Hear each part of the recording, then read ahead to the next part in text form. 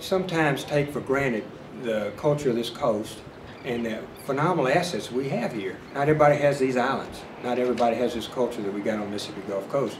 People recognize that. Once they come here, we've got a great story to tell. Jamie and I believe that we needed to map this process, map the island entirely, and provide for y'all and for people that come to visit here a detailed visual presentation of what's available to them.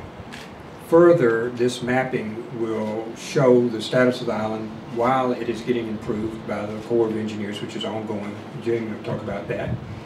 And also, uh, it'll show the uh, great barriers that we have in the event for storm prevention. Uh, all of those work off of this. So the barrier islands are not only a key to catastrophe, but they're also a key to tourism and recreation.